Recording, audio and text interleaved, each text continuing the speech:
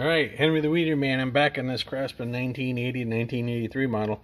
I've took some brake cleaner and I've took and I go uh, cleaned out this bearing.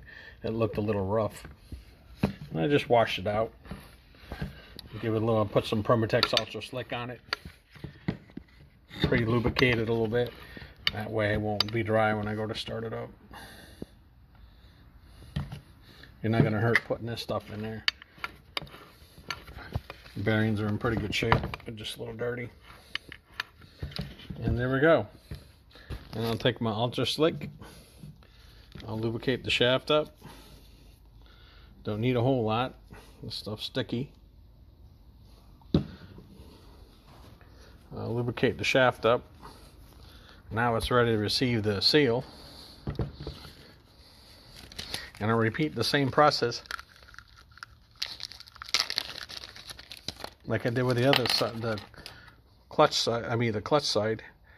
Carefully slide it on, it's lubricated up. I got my seating tool, which fits perfect in there.